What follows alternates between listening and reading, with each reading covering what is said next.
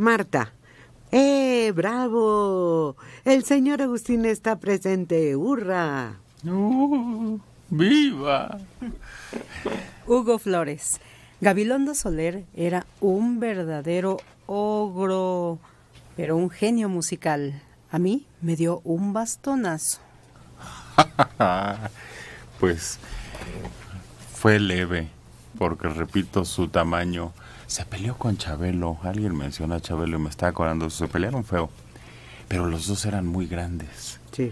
Entonces dicen las historias, los trascendidos, que nadie se podía meter a separarlos. Eran muy grandes, muy imponentes. Había algunos locutores que eran así en aquel entonces, muy, muy grandotes. Y estos dos dice que un día se pelearon feo ahí, en la W. Y pues no, ellos solitos que se arreglen, dijeron los demás, siendo tan grandes. Y creo que un día después Chabelo lo admitió que había tenido un enfrentamiento con él, por las canciones y por otras cuestiones. Ya ah. siendo los dos figuras importantes, claro. Patricia Álvarez, buenos días a la mesa. El hijo de Francisco Gabilondo Soler, Cricri, trabaja en el Hospital de Nutrición. ¿Todavía vive? Pues seguro debe ser un hombre ya mayor, pero sí, Agustín. Y a mí lo que me fascina de Francisco Gabilondo Soler es que era un maestro en los ritmos poéticos, en eso que se llama cortos. Sus versos son exactos, aprendió de Gutiérrez Nájera bastante bien. Y si escuchamos la cadencia, no la musical, que es muy seductora, sino la verbal de sus letras, no hablo de lo que dicen del negrito bailarín con bastón y con bombín. Vean qué rima tan elemental, pero tan gozosa tiene. Yo creo que esa es una de las verdaderas virtudes de Cricri, de Francisco Gabilondo Soler, que siempre nos convoca a un dulce viaje íntimo a la infancia.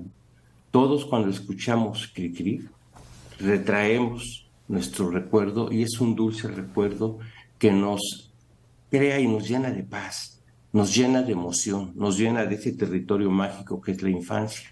Y señalo la importancia de sus versos, porque se ha dicho la genialidad de su música, sin duda alguna.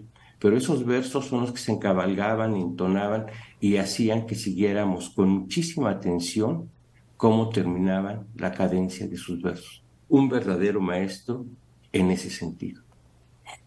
Vivi Soto. Buenos días, mi nombre es Viviana Soto. Fui educadora hasta hace tres años. La música de Cricri se sigue tocando en las escuelas porque son fábulas cantadas y tienen muchas enseñanzas para los niños. Ah, qué bueno. Qué bueno. Qué bueno que se respete a iniciativa propia, yo que me supongo de los maestros, Alejandro. Eso me preguntaba ahorita porque realmente ya eh, los niños están en una velocidad y en una dinámica totalmente diferente a la que nosotros. O sea, yo sí crecí, mis hermanos teníamos todos los discos de Cricri, mi, mi papá por ejemplo, cuando éramos muy chicos nos cantaba la de Los días se van y el pobre calendario se siente a adelgazar y luego el coro era la de Fíjate que estaría prohibida hoy. El conejo chuchu ya tiene bigotes.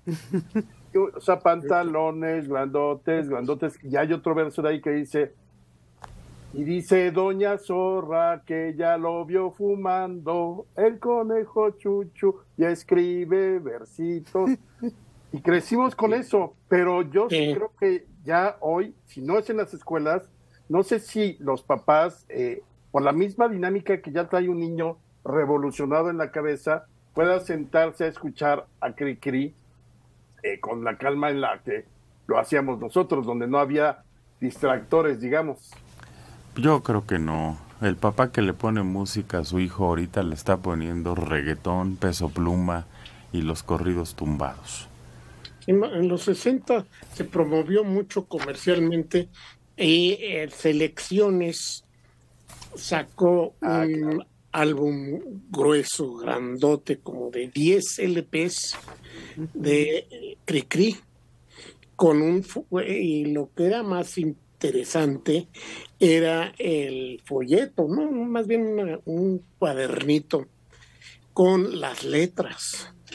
Esa es una joya. Quien lo tiene, tiene de veras una joya, porque yo no he visto coleccionadas la, la poesía de Cricri. Letras y poesía. No, no hay notitas musicales sacaron tres números también con las letras y las notas para que los jóvenes aprendices de guitarra o de piano pudieran interpretar. Sí, y ese álbum es magnífico porque trae muchas de las letras y ahí se señala esa forma rítmica que tenía Cricri para que todos nos quedáramos con ese sentido pegajoso de su música.